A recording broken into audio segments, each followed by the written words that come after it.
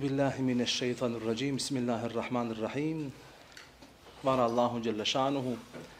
Neka je salavat i selam blagoslov i mir na Božijeg poslanika Muhammeda sallahu alaihi wasallam, na njegovu častnu plementu i čistu porodicu njegove ashabe i na sve one koji prate putokaze, koji prate znakove, dokaze od Allaha Đelešanuhu. Draga braćo i sestre, draga omladino, assalamu alaikum wa rahmatullahi wa barakatuh.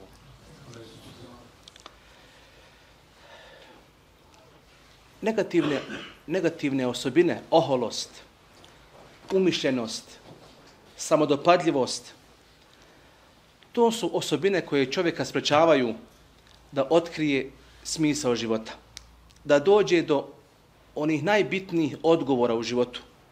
Jednostavno, ove osobine su prepreka ka svakom dobru. Kao što, na primjer, prepreka, ne možeš provući neka gužva, nešto se zaustavilo, fizički, dakle, kad neko ima trunku oholosti, trunku umišljenosti, trunku samodopadljivosti, a ona se javlja i u mladim danima, kad te neko malo pohvali, pa ti kontaš, ja sam taj i taj, pa malo misliš da si neka faca, da nešto znaš, nešto naučiš. To, a pazi, to su osobine koje, kroz koje čovjek prođe, nisu one da ono ne možemo ući u tu osobinu, nego se dese, ali jako bitno da ako se dese te prepreke, te, dakle, oholosti, nešto od toga, da se liječimo, da znamo da smo malo pacijenti, a općenito, dakle, čisto na ovom svijetu, jedna smo vrsta, vrsta pacijenata. Dakle, nastojimo da se odgojimo, a da nam poslanik bude odgajatelj životu. Tako te osobine, dakle, oholosti, mišljenosti, kad se nađu, hajmo ih liječiti. Allah Đelešanuhu, gospodar svih svjetova, na zemlji je postavio putokaze, znakove, smjernice, vodilje, koje čovjek, ako bude čitao, ako bude pratio, ako bude učio, prepoznavao, on će doći do istinskog života. Ne do Allah Đelešanuhu da kad tamo dođemo na onaj svijet, Jer gospodar spominje i tu vrstu ljudi koji kaže kad tamo dođu, kazat će je kulu ja lejteni kad dem to. Ne do Allah da to kažemo. A to kaže, reći će, reći će ti ljudi koji dođu, kud se nisam spremao za ovaj život. Odnosno, bukvalno, kud se nisam spremao za moj život. Za moj život. Ovaj dio moj život ukazuje nam da ovaj život kojeg sad živimo, znamo da nije naš. Dobili smo ga. Allah je dao da se rodimo i da počnemo živjeti kada je on htio. Kad ćemo prestati živjeti u svijetu? Opet kada Allah hoće. Ali vidite, ovaj čovjek koji je došao i vidio da je fulio u tom životu na ovom svijetu njaluku, kaže, kud se nisam spremao za moj život. Znači, tamo, na onom svijetu je naš život. A ovo ovdje čisti trening. Čisti trening da se treniramo kako da tamo živimo. I Allah nam dao putokaze, dao nam smjernice, dao nam vodilje. Evo vam period koji živite. Treninge, a treninzi su, da kažemo, propisi, ramaz, po, zekat. Dakle, poput treninga koji, evo, svakodnevno pa po pozivu treninzi koji su, dakle, godišnji, pa sedmični, pa svaki dan, pa konstantno. A zikrullah je nešto što je poseban trening, ko uđe u taj trening, koji je ono, stalno u treningu, on sigurno će naći smisao života i on će da istenira ljepotu života i ovde i tamo kad dođe u živoće ljepoti. A oni koji propuste treninge i dođu na mejdan da se takmiče, da nešto se da, ono, kako će znati? Zar Allah ne kaže u Kur'an i Kerimu Festebi kul hajrat. Ono, bukvalno, budete takmičari u dobrim dijelima. A šta ćemo ako se nismo ni upisali da takmičimo? Nego smo puki posmatravci. Posmatramo, a ne ulazimo u takmičenje, ne, ne idemo tim putem. E, zbog toga je Allah postavio smjernice, vodelje, da nađemo taj istinski život i tim putem dođemo do ljepote života. Baš kao u saobraćaju, kad neko vozi auto, ako znaš znakove i ako ih poštuješ, ićeš do destinacije koju si odredio. Pratiš dakle navigaciju, ićeš. A postoje da ljudi koji, iako možda znaju za, za, za, za, za te propise i znakove, neće da poštijem. Ode ja kroz crveno, ode ja ovim putem. I sad će biti, zarutaće. Ako to bude radio tako, on će otići nekim krivim putem. Hajde, možeš to raditi jednom, pa te, znaš, no, možda onaj, policija, pa ti oprosti, pa ovako, pa nakon nisi ga ugrozio, pa tamo, ali meleki koji su tu uzna stalno pišu, dakle, jednostavno, oni su nam poput tih ono, kamera konstantni koji nas prate kako se ponašamo i kud, kojim putem idemo. Rekli smo na početku oholost, umišljenost, samodopadljivost, te osobine, opake bolesti, dakle su prepreka, a direktno u ajetu kaže gospodar da oni kod koji se nađu te osobine, oni neće Kur'an razumiti. Oni mogu možda i poznava znakove. Navedo primjer, neko vozi, zna, znak, ali ga ne poštuje, ne učaju, iz oholosti. Ode ja ovako. I onda najukniješ tako, nekada čovjek mi priča, kaže, 8000 maraka ima da plati kazne. Pa šta se radi, čovjek, daš mu, e, pa, gotovo vozačku muzi ili gotovo, znaš, pa zaslužio si. Da, da, da, to, to, znači, namjerno si kršio, nisu, to, nisu mogo ti to napraviti tako, ono je slučajno. To, tolke, tolike rekao, greške, pa jes, kada pravu si. A što te reko tim putem vodilo? Ko ti najbolji vozači, ko ti najbolja faca, pa poštuj propise koje su nam dati od gospodara, prije svega od ljudi, oko onoga od čega smo se svi dogovorili zajedno, da ih poštujemo. Poštuj, imat ćeš sigurno fin život. Ovaj ajet direktno kaže gospodar, jeste izbila sasrefu an ajati adete keberuna fil ardi bigajl hak. Kaže gospodar, odvratit ću od mojih ajeta, od mojih znakova, mojih putokaza, znači tip, znakova koje gospodar postavio.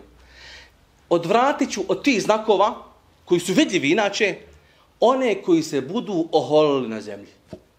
Na bigajri hak, kod nas se u, u, u stariji su govorili na bigajri bespravno, na bigajri hak. na kraju kreva, ko ima pravo da se oholi? Jer kogod se oholi, dakle, to je bespravno oholenje. Tih znakova je bezbroj na putu gospodaru. Mnogo je ajeta, i ajati, ajati, pa imate ono znak, ono znak. Prije svega, poslanike je Allah slao kao znakove. Allahove robove, nakon poslanika, i oni su znakovi. U vrijeme u kojem mi živimo, robovi koji, koji vidiš da su, da su u praksi poslanika, ali selam, on ti je znak, on ti je putokaz. Ono, njega, njega posmatraš kako ćeš ići. Zatim, znakovi su direktni dokazi muđize poslanika, ali selam. Kad čitamo Kur'an, Allah naglašava muđize poslanika, poslanika razne poslanika. Naglašava i često govori o muđizama Musa, ali selama, Isa, ali i drugih poslanika, gdje direktno govori o čudima koji su kao znakovi ko je to gospodar. Posebno bih ovdje izdvojio, Allah direktno kaže da je Merjama i Isa od Allaha znak. Što naglašavam tu? Jer je Isa a.s. znamo da je uzdignut i doće ponovo. Opet kao znak, ne kao poslanik, već kao Evliullah, kao Allahov rob, koji će biti sredbeni poslanik salam. Ali je on od Allaha znak tako opisan. Kaže, Isa je Allahov znak. Onaj znak kojeg bi još napomenuo posebno, a svaki dan doživljavamo, I Allah kaže to znakovi, noć i dan. U tom ajetu, e, kaže, i zemlja i nebesa su od Allaha znakovi. I ne prilike, poslanik je selam je kasnio na sabah namaz u džamiju i pošto je kasnio, otišao je mu je Bilal da ga, da ga vidi što je to. Kad tamo poslanik je selam na seđdi, plaće poslanik je selam. Toliko je, kaže, kad je opisio Bilal, plako da je ono, pokvasio, dakle, onaj mjesto gdje, gdje, gdje, gdje je pao na seđdu. Pa je sačekao Bilal i kad je on ušao seđde, o Boži poslaniće, kaže, što, zašto plaćeš? Kaže, ove noći mi Allah objavio, kaže, takav ajet. Kaže, koga ne bude razumio, teško njemu. Kaže, Boži poslanik, kaži nam koji je to ajet da ga razumijemo. I onda poslanika se nam uči, Bismillahirrahmanirrahim, inne fi halqi samavati wal ardi vahtila fil lejli wal nahari la ajati l doista, kaže gospodar, u stvaranju nebesa i zemlje i u izmjeni dana i noći su ajeti, putokazi, dokazi za one koji su, prevedeno je, razumom obdareni. Bukvalno se ovdje odnosi ova riječ el bab, to je množina od lup, a inače lup znači jedna vrsta srca. Dakle, ima četiri izraza za srce u Kur'an Kerimu. Ima sadr, to se prevodi kao prsa, ima kalb, ima fuad i ima lub. Dakle, kako bi rekao, kroz dubine srca ima ono isto isto korah. Ima ono okolo zeleno, ima dakle ono tvrdo, pa ima ona opra, pa unutra je ono naj, najslađe. E ova je dakle, ono sadri prsa. Dublje je kalb. Kalb je vezano za, za, za, za onaj, za e, osjećaj. Fuad za čistu ljubav od Allah Žešanuhu. A lub je vezano za srčiku, ono, direktno, dakle, ono, kad Allah Žešanuhu nekom očisti znanje. E kaj, to su, kaže, ajeti, putokazi za one koji su, dakle, shvatili srč, srčiku svoju. Prevedeno je kao razum obdareni. Ne bi se kazalo da, da, da oni koji su razumom pametni, da su shvatili ajete. Imam jel da školovani pametni u zajednicu kako hoćeš. Ali ne bi rekao da su shvatili ove, ove, ove, ajete.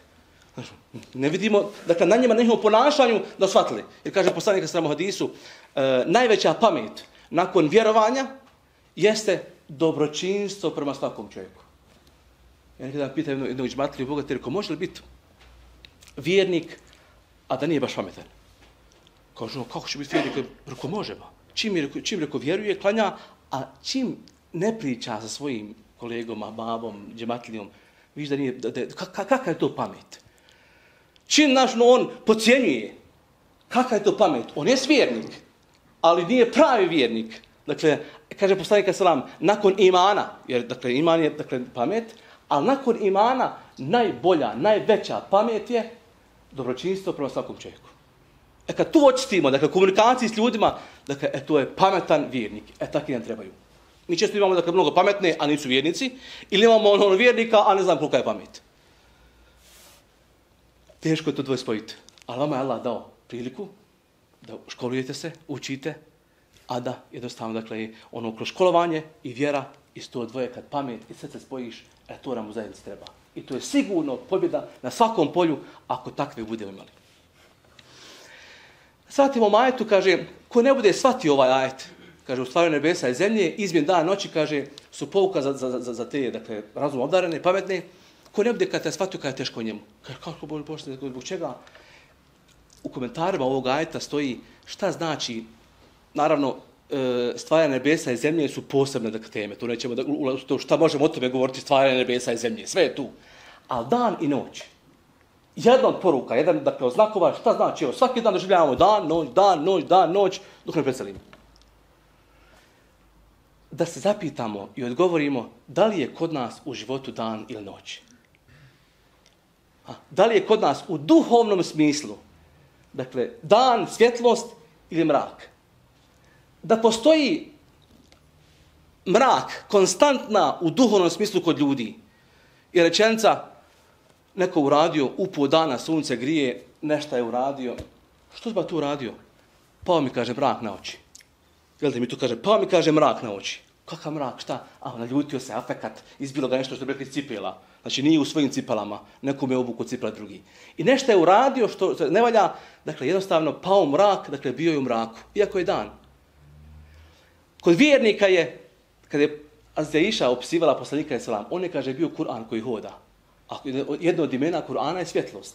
Dakle, i po noći i po danu je svjetlo. Duhno, vazda upaljeno i kad spava i kad ne spava, dakle, konstantno je bila, dakle, svjetlost u pitanju. Ovdje, dakle, ovdje ono, je rasprava ta, da li postoji mrak, da, da, da li, šta je, dakle, po definiciji, kaže, je, kaže onaj mrak, odsustvo svjetlosti. Znači, on, u suštini ga nema. Isto kao što u suštini Allah je dao zlo, ali, ali ako nema dobrote, ostaje ono što ne valja. Dakle, ko ostaje ono, ono suprotno. Ako ne radiš dobro, mora biti loše u zajednici. Jer dobro potapa loše. E tako, da jednostavno, da, da, da, da, da, da razumijemo. Dakle, dan potapa mrak. Kad se upali svjetlo, mrak neće nije odšao. Nego stvari pojava svjetlosti koja inače postoji. A kad je ona odsutna, onda čovjek živi u mraku, ništa ne vidi. Također, ajet Kaže gospodar, u fil ardi ajatu lil muqinin, u fi anfusikum afala tubsirun. Kaže gospodar, na zemlji su putokazi za one koji su uvjereni, ubijeđeni u gospodara. Vidite, nisu, dakle, ona za sve ljude putokazi. Što? Jer većina ljudi neće vidjeti te putokaze. Živit će sa njima. Evo, dan, noć. Oni žive i dan, noć. I dok oni spavaju po dan rade, ali nisu shvatili dakle, da li je kod njih dan ili noć. Da li o tim ajetima razmišljaju kako Allah traži da, da, da, da o njima razmišljamo. O tim putokazima oko nas. Nego su to vezile za ovaj svijet, tako je to dato. A ko je to dao? Što je dato noć, dan noć? Što je dato Ramazan? Što je dat petak? Što je dat, dakle, seđda? Što je dato, dakle, što je, što je nam Allah to propisao? Dakle, to su naše pitanja da konstantno kroz cijeli život dobijamo odgovor da znamo što mi to radimo. Na kraju krajeva, što smo mi ovdje? Bog čega smo ovdje? Dakle, na zemlji su putokazi za ubijeđene, uvjerene, u fijem fusikum, kaže, a i u vama samima. Samo se rovi u sebe, tu, evo, ne možeš, ne možeš oko gledati. U nama samima su dokazi.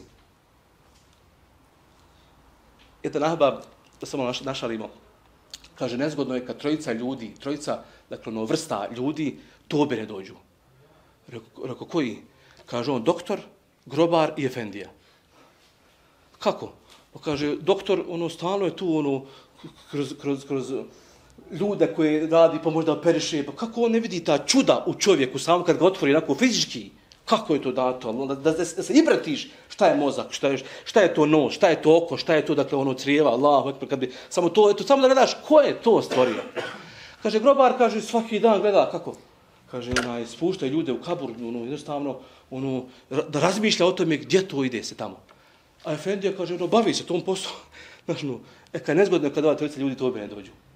Znači, u vama samima postoji dokazi. U svakom pona osobi. Men narefe nefsehu fe fakad narefe rabehu. Ko spozna sebe, spoznuje gospodara. Tu, samo malo treba roviti. Nema. Dakle, kaže gospodar, Ar-Rahman, Allem al-Qur'an, Halakar insan, Allem bayan Milostivi poučio je čovjeka Kur'anu, pa ga je stvorio, a onda mu nakon toga pojašnjava šta to u njemu ima. E, znači, već smo mi poučeni Kur'anu, a ovaj svijet je samo da nam se pojasni. Ko ne bude bio na tim časovima pojašnjenja, ovo će ga okolo oprvat, zatrpat ono što je u njemu i bit će u tami, bit će u mraku i neće ništa razumiti. Jedan od putokaza i znakova je, evo, svakako tema, koja je na halkama koje su evo dakle ovdje svako četvrtka ono konstantno.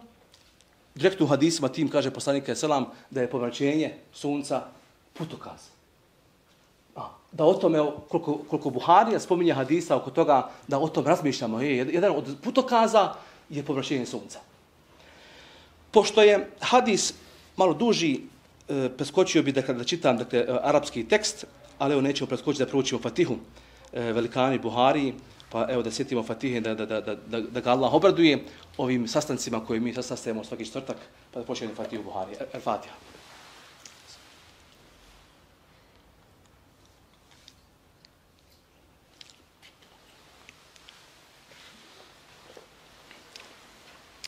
Hadis, 1052. hadis, u prijevodu kaže, pričao nam je Abdullah ibn Eslem, prenoseći od Malika, a on od Zeda ibn Eslema, ovaj od Ata ibn Jesara, Ata od Abdullaha ibn Abbasa, da je rekao, u doba vjerovjesnika sallahu alaihi ve sellem došlo je do pomračenja sunca. Pa je poslanik alaihi selam klanjao. Dugo je na kijamu stajao. Stajao je koliko bi se moglo proučiti poglavlje suri El Bekare. Allah, Allah po džuza, subhanallah. Toliko je dugo stajao da se dva i po džuza, dakle 50 stranica kod nas u, u Musafima koji mi dakle, imamo, toliko je dugo stajao da se prouči. Zatim se je pregao na ruku, ostao je, kaže, na ruku dugo. Na tom položaju ostao je, kaže, dugo. Ispravio se i stajao je na nogama dugo. Ali kraće je od onog prvog stajanja. Znači da na onom semi Allahu limen hamide, znači i tu je dugo stajao, dugo je stajao, dugo je stajao u pokornosti, po praćenju sunca, on u pokornosti, dakle pred Allahom džeshanu spominje ga i zikrčini. Pregeo se opet na ruku i stajao dugo, ali nešto kraće od onog prvog rukua, dakle dva rukua je dakle, učinio, i onda je učinio seđdu. Nakon toga je ustao i stajao ponovo na nogama dugo, ali kraće od prvog stajanja pregeo se na ruku i ostao je opet dugo. Ali kraće nego od prvog rukua. ispravio se i stavio nogama dugo, ali kraće od prvog stajanja, Pregeo se na ruku, ostao dugo i na ruku, ali kraće od prvog rukua, pa obavio seđdu. Vidimo dakle, ovdje da je stalno poslanik selam ono, jer na prvom rekatu, dakle, duže, pa onda kasnije kraće, kraće, kraće, što bi trebalo da bude dakle, praksa općenito kad neki namaz slanjamo, da uvijek dakle, du, damo prednost dakle, prvom rekatu duže, pa malo kasnije sve kraće i kraće. To je jedan poruka, dakle, općenito kad klanjamo dakle, namaz. Naravno, nije da je namaz neispravan ako bi neko duže proučio, ali to, dakle, je pohvalno. I onda, nakon tog namaza se okrenuo ljudima, a već se, kaže, sunce ukazalo i poslanik je rekao, sunce i mjesec su dva Allahova putokaza, znaka, dokaza. Evo ćemo smo dakle uvodu dakle kazali. Pazite, jako bitno je da malo razmislimo šta nam je poslanik je sve kazao nakon ove na file. Jer nije to džaba da je baš to kazao. Dakle, nakon te na file da kaže te i te stvari vidimo tamo do, do, do kraja hadisa, dakle, dosta pouka, e, koje su to stvari kazane dakle, nakon, nakon dakle, pomračenja sunca. Tu ćemo naći odgovor šta znači putokaz pomračenja sunca. Dakle, u tim da kasnijem dakle, govoru, eto šta nam to, šta nam to da, daje poruku. Kaže poslanika Salam, njihova pomračenja ne dolaze zbog nečije smrti, niti nečijeg rođenja. Kad god to vidite, Allaha spomnite on ćemo zadržati ovdje, kad god to vidite, kaže Allaha spomnite. Svaki propis, namaz, džuma, post, hađ, kurban, uvijek kada, kada je Kur'an, Allah to tom spominje, a nakon toga Allaha spomnite. Svaki propis, dakle sada nabram sad pojedinačno. Svaki put je Allah spomnite. Znači, znači, taj propis koji gradiš, Dakle, nek ti bude uzrokom da se kod tebe, dakle, probudi zikrullah koji ćeš kad izađeš napolje, nastavi da Allah spominješ. Bilo kojom formom. Najlakša forma je Allah, Allah, la ilaha illallah, alhamdulillah, subhanallah, mašallah, bismillah, dakle, to su forme koje možeš, možeš dakle, rečenice da učiš. Ali kad si u komunikaciji s društvom, evo, niko te ne vidi, Allah, Allah. Rečenica la ilaha illallah, ono, izgovaraš je, a ne treba ti ni usne. To je najlak, najlakša rečenica, a klju za džennet. La ilaha illallah. Već Muhammedur Rasulullah zahtjeva, dakle, malo više, dakle, onaj pokreta, naš, možete primijetiti da nešto izgovaraš. A la ilaha illallah, ono, možeš izgovarati, te niko ne vidi. Dakle, zikr, da spominjemo Allaha nakon, dakle, svakog propisa, da nam bude uzrokom da, da Allah spominjemo. Što nam to poslanika sallam ukazuje i nakon ove na file Allaha spominjite.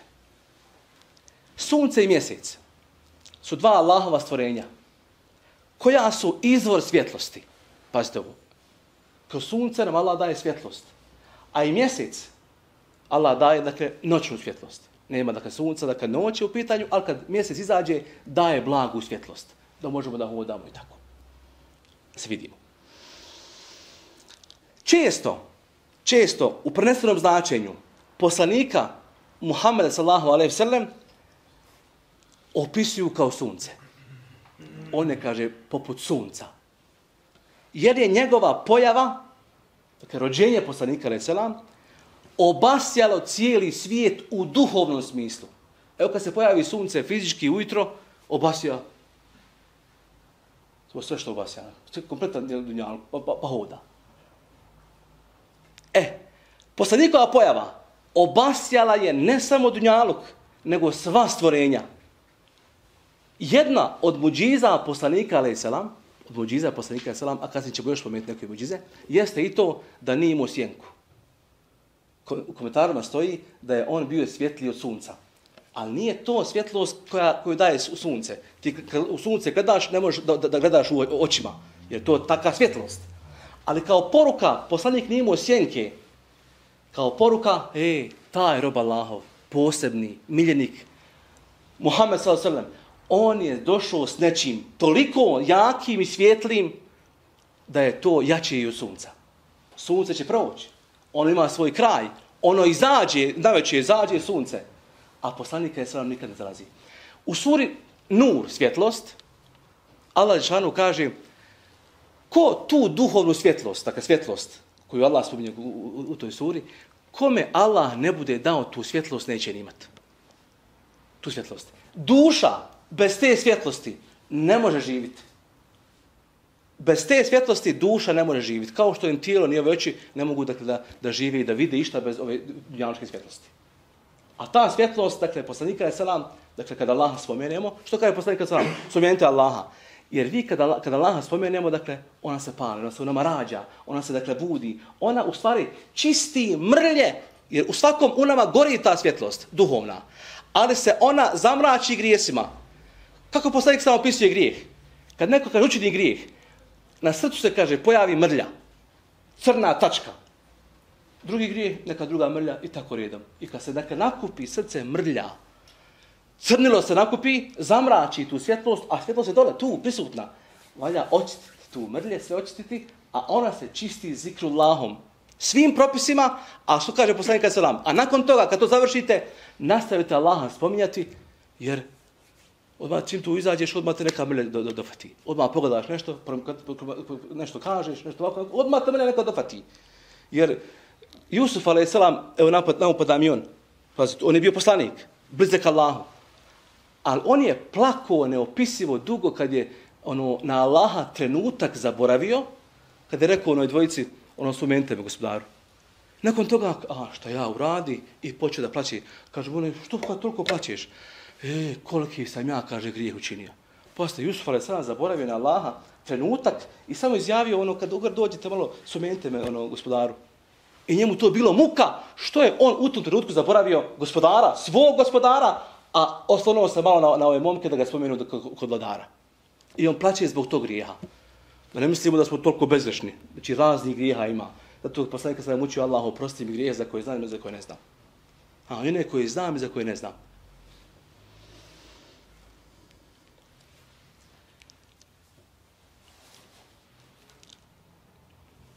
Jedno pitanje, nakon da razmišljamo. Šta bi se desilo kad neko ne plati račun na privredu? Jedan račun, drugi račun, treći račun, dođu radnici i iskopčaju onaj struju, je tako? I nema svjetlosti, završeno. Tako se jedna žena požalila jednom Efendi i kaže mu onaj, Efendi, imam ti problema sa sinom i ovo, i ono, problema, evo, a sad problema u našim kućama, općenito, kod ljudi, koliko hoćeš. I kaže, jel da kaže, šta bi, kad, ovo postaje pitanje, šta bi, kaže, onaj, se desilo kad ne plaća račune, kad isključi mi struju. E tako isto, robovanje Allahu, propise koje te Allah dakle, propisao, ako to ne izvršavaš, to je naš dug. Dakle, to je naš dug da, da, da, da, da, da, se Allahu zahvalimo, da, isto kod dođeš, evo te, plaćam vam struju, hvala vam što mi dostavljate dakle, energiju. Ako to izostane, dođe pa se isključiti, isključiti se duhovna svjetlost. A kad ti se duhovna svjetlost isključi, je to problema. Što je, ništa ne vidite. I onda sudari. Sudar ovaj, sudar onaj, su, majka, sina, sina, ma, majku, babo, razvodi, katastrofe. Što? Zato što žive u mraku. Isključuje im neko struju. Odnosno, oni su pruzrokovali da im se svjetlost isključi. To je sunce, nešto o suncu. Također, u nekim, dakle, predajama se spominje, da to je velikanda, kako spominju, da poslanika je sada porede se mjesecom, prenesu nesom značenju. Ta blaga svjetlost u kojoj može svako da, da, da gleda. Ha? Kaže, znaš, no, ova svjetlost sunca ne možemo, ali mjesec, kaže, možeš tako da je poslanik selam i on je, dakle, ta, jeli, on je taj mjesec. On je to sunce, on je taj mjesec. A u hadisu kojeg komentarišemo, Šta je putokaz? Pomračenje sunca. Ha? Pomračenje sunca. A poslanik je sunce. Šta se dešava? Pomrač... Poslanika ne može niko pomračiti. On je svjetlost. Ali nama se dešava da ne vidimo dobro poslanika. Neka pomraka s naše strane desila se. Pa mi ne vidimo to svjetlo. Negdje smo se izgubili. Nije nam poslanik uzor u životu. Zaboravimo ga često. Pomračilo se. Šta ćemo raditi? Hajmo klanjati, hajmo volite Allah, hajmo zikati. Što kaže poslanik selam. Allaha spomnite. Što? Da se ono što je, što je pokrilo tu svjetlost, da se iščisti, pa da jasnije vidiš ko je poslanik. Koga mi to slijedimo? Biće nam mnogo jasniji poslanik recimo, Kada se očistimo od svih mrlja koje dakle, imamo. Kad se kad prođe to pomračenje. Ovo sve predstavno znači da razumijemo kakav je putokaz, kakav je znak, evo kad sunce pomrači. A poslanik selam je šta je la, eh, radio? Toliko dugo klanjao, pazite ovo, suru, bekare, na, na, na, na rekiatu proučio. Allahu, toliko dugo. Kao dokaz za ovo što sam prokomentario na ovakav način, uzet ću ajete iz sura Hazab, oni su proučeni u namazu, na jaci, Ma kana Muhammedun eba ahadim mir džalikum ilahira. Kaže gospodar, Muhammed nije otac nijednom od vaših ljudi. Pa ste ovo. Kakav otac? Dakle, nemojte misliti da je Muhammed a.s. otac poput vašeg oca i majke. Pa da s njim tako vi to. Ne, on je više od oca i majke. A sahabi su često imali uopće kazati, o Bože posljedniče, ti koji si mi kaže draži od oca majke, koji si mi na stepenu višim nego moj otac i majka, o Muhammede, o Bože posljedniče. Tako da nemojte vi tako ono samo poslanikom, on nije baš otac, dakle ovaj dunjalučki, ali duhovni otac i duhovna majka jeste poslanik Reselam. Kaže Allah, nije, nije on kaže otac vaših ljudi, nikomu kaže od vaših ljudi, nego je Allahov poslanik i pečat vjerovjesnika. A Allah dobro sve zna. Dobro Allah zna ko je njega uzeo ovako, koga je uzeo onako. Dakle, Allah opisuje ovdje poslanika da je on nešto više od roditelja. Nije roditelj, nego više od toga. Šta Allah nakon ovoga sljedeći ajet koji je? Kaže Allah, Ja ejuhel ladine amanu zkurullahe zikran kethira. O vjernici, Allaha spominjite mnogo. Mnogo ga spominjite. To ne, mnogim spominjanjem. Ovdje u komentaru ovog ajeta, kad se opisuju vjernici, vjernici Allaha mnogo spominju a munafici ga malo spominju. O tome smo govorili. Va bukte moja sila, kaže gospodar, i jutrom i večeri ga, kaže, slavite. A, I jutro, kada izlazi sunce, i večeri kad zalazi sunce. Dakle, to bude, dakle, oznaka da Allaha spominjete, dakle, i kad, opet na sunce vezano, jutro i noć. Tad ga, kaže, spominjete. On je taj, Allah je taj, sljedeći ajet, koji vas, kaže, blagosilja, dakle, na vas salavate uči, a i meleki njegovi. I pazite ovo. Da bi vas iz tmine, iz mraka, izveo na svjetlo. Zikrom, dakle, salavatima, dakle, spominjamo Allah Đelešanu, iz, izlazimo iz tmina na svjetlost. A on je, kaže, prema vjernicima bilostiv. Pozdrav će im na dan kad ga oni sretnu biti selam. Ko? ovi koji su dakle uspjeli izaći iz titmina na tu duhovnu svjetlost. Kad tamo dođu, selam, selam, reći će im se selam, mir, neke vama, bujro uđite, sretni tako. Nagrada vama ide tako. I onda Allah kaže, o vjerovišniće, mi smo te poslali kao svjedoka, pa šta Allah nabraja sad, kako Allah šalje kao svjedoka, kao donositelj radosne vijesti, kao opominjača, kao onoga koji Allahu poziva i kao svjetiljku blistavu. Si rađem munira. Direktno ovdje. Ti si Muhammede poslan kao svjetiljka blistava. Nemoj da nam se svjetiljka pomrači. Ha, zikrullahom, dakle, očistimo one stvari koje nam hoće po, tu svjetiljku, dakle, zavračiti. Da se vratimo hadisu, još par, dakle, stvari do kraja hadisa da, da pouke izvučemo. Kaže poslanika je selam, odnosno pitaju ashab poslanika je selam kad im je rekao Allah spomnite, a prisutni su rekli, o Boži poslaniće, mi smo te vidjeli kako stojeći u namazu nešto dohvaćaš, a potom kako se natrag povlačiš. Poslanik je s vami, dakle, ovako nešto uradio i, dakle, ono, nazad se vratio. Kao krenuo malo da nešto uzme. Pa nam je kada je bilo čudno šta se to uradio Boži poslaniće. Kaže, poslanik je selam, odgovorio je, vidio sam džennet i htio sam dohvatiti jedan grozd. A kad sam ga uzeo, a da sam ga, kaže, uzeo, vi biste ga jeli dok postoji ovaj svijet. Takav je taj dženecki grozd. Ali nije ga uzeo, pa- dakle, znači, da sam ga uzeo, znači, nije ga postoji, ali ga je ono, pokušao dofatiti. Nije mu dato da ga uzme. Da, da ga je uzeo, imali bi jest, što je hrana dženecka, ono, jedeš, nestaje. A dunjalučka jedeš valja opet. A u dženetu kad tamo dođemo oko voda jedeš ništa ne ostaje, samo samo puni se naš. Ono kahavu piješ, uvijek ima, piješ, a uvijek je ima. Znaš, kako bi to jel, znači, no, Ja vas sad ovdje popiješ nestalo kahve, znaš, no, valja opet rad, zarad, znaš, no, u džennetu to na stano ima. Ovdje se radi u muđizi poslanika, alaih salam, da je vidio u namaz džennet. Pazi, Allah mu je dao, dvije je vidio džennet? Vidio džennet, dakle, kada je bio na mirađu. I vidio na file, vidio je džennet. Poslanik, alaih salam. Jako je bitno kad se spominju muđize poslanika, alaih salam, da razmišljamo ko je to poslanik. Nedavno sam pročitao jednu knjigu gdje sam našao nešto jako bitno o razumijevanju muđize. Kaže ovaj velikan, mnogi kaže, ono, autori pretjeruju u tom da poslanika opišu kao hrabrog Muhameda, kao inteligentnog Muhameda, kao vođu Muhameda, kao dobrog Muhameda, ono, u svim aspektima dobrog. Zapostavljajući, dakle, njegov aspekt da je on vjerovjesnik, poslanik, sa muđizama došao. Dakle, nekako u drugi plan se stavi njegove muđize. Njegova čuda s kojim on došao.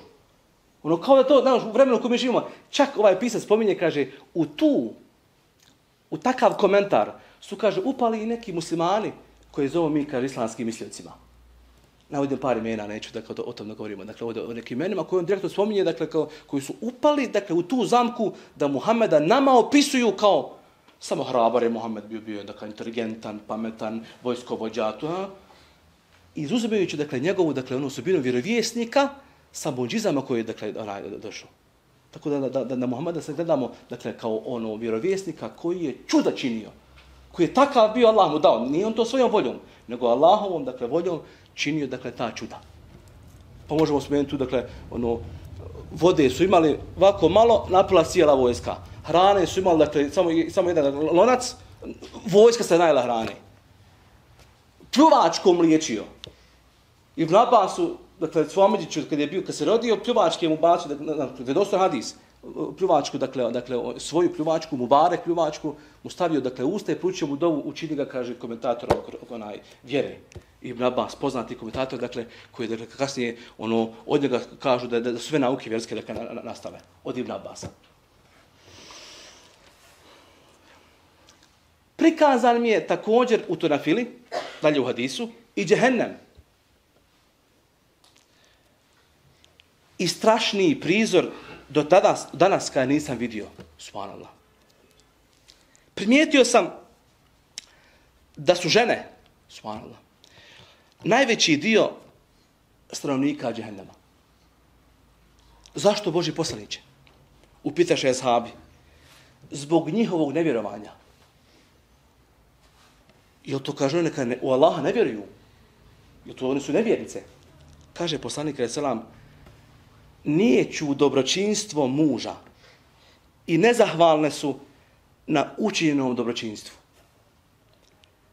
Kad bi nekoj od njih uvijek činio dobro i potom osjetila od tebe kakvu neprijatnost, rekla bi, nisam od tebe nikad vidjela nikakvog dobra.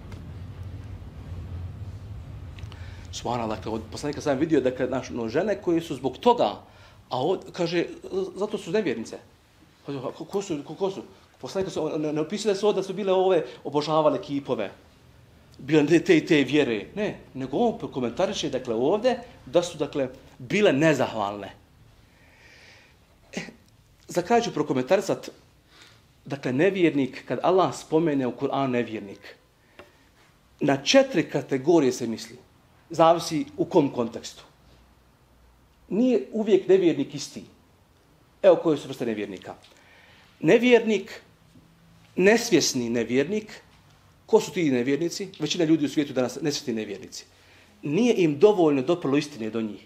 Oni da, da, da, da dođu do istine, da je saznaju, oni bili vjernici. Nego, mediji, ovo, sad sve, znaš, ono, takva situacija, ambijent u kom žive, ne doprije do njih, imaju lažnu sliku islamu, nemaju pravu sliku i zbog toga su nevjernici. Oni nisu loši ljudi. Oni su kao ljudi možda dobri, ali nemaju dovoljno informacija. E tu je naša odgovornost koliko dijelimo, koliko radimo da do njih islam doprije. To je prava vrsta nevjernika. Druga vrsta nevjernika su svjesni nevjernici. Ko su oni?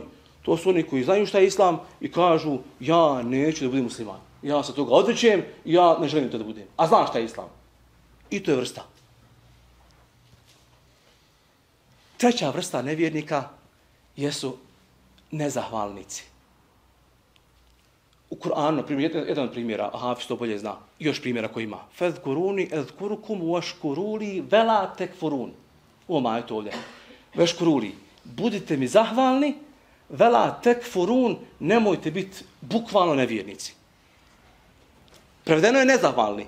Jer suprotnost od zahvalnosti je nevjerstvo, nije nezahvalnost. Jer se nezahvalnost inače tretira kao, kao dakle, nevjerstvo. Pa ste ovdje u hadisu spomenuti dakle, žene, konkretno, direktno dakle, žene.